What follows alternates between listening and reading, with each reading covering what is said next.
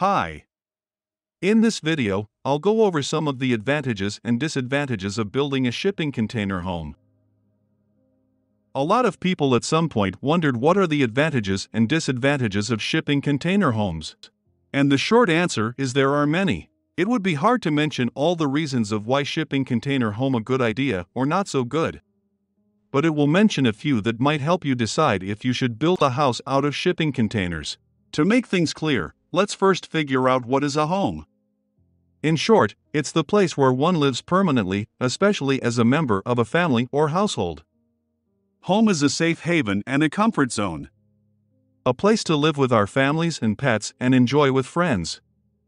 A place to build memories as well as a way to build future wealth. A place where we can truly just be ourselves. And if that's true, then it doesn't really matter what your house is built out of. Really, it can be built out of anything as long as it's comfortable and provides you some security. But, for the purpose of this video, let's only focus on the metal shipping container converted into a home. Versus a traditional stick framed house you would typically find in the US and Canada. This video would be really long if I were to explain why most of the houses in the US are built out of wood. I will make a separate video explaining the reasons why. So why is the idea of building shipping container homes sound attractive to so many people? My personal opinion is that they are very rigid, stylish, and modern. Young people have very little chance of owning a typical house, people feel safer in them, and one of the biggest reasons is people want to avoid mortgage payments. Shipping container homes are durable, cost effective, and customizable, they can be more cost effective than traditional housing. Container homes are often marketed as being environmentally friendly because you can build out of used shipping containers.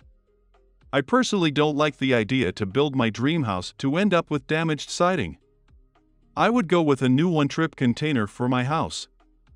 So the idea of environment friendly goes out of the window unless you plan to cover your container house with siding later.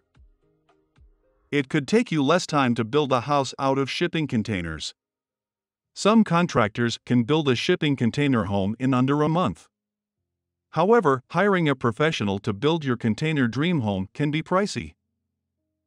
If you have some construction skills, you could attempt to build a shipping container house with your own hands. There is plenty of information on the internet now to learn on the go. I think that the vertical corrugated metal siding looks really cool if painted in the right color.